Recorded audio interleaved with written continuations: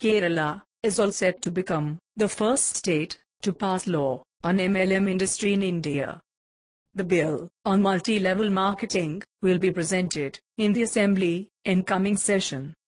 All the aspects related to the control and the operations of MLM companies in Kerala has been discussed and same to be presented in the Kerala Assembly during the next session.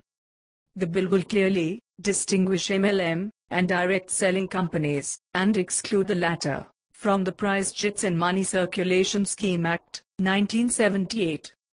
Some time back, the CEO of Amway was arrested by Kerala authorities under PCMC Act and that caused lot of tension among other direct selling companies in India. Some say this might have triggered the formulation of the bill.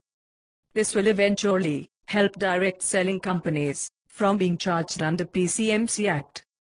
The bill was jointly drafted by Industry Secretary and along with representatives of Home, Law, Commercial Taxes and Consumer Affairs departments.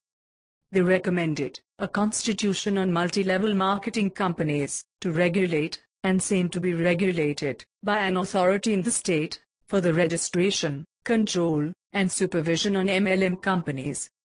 The authority shall also have the same powers as are vested in a civil court under the Code of Civil Procedures while trying a suit.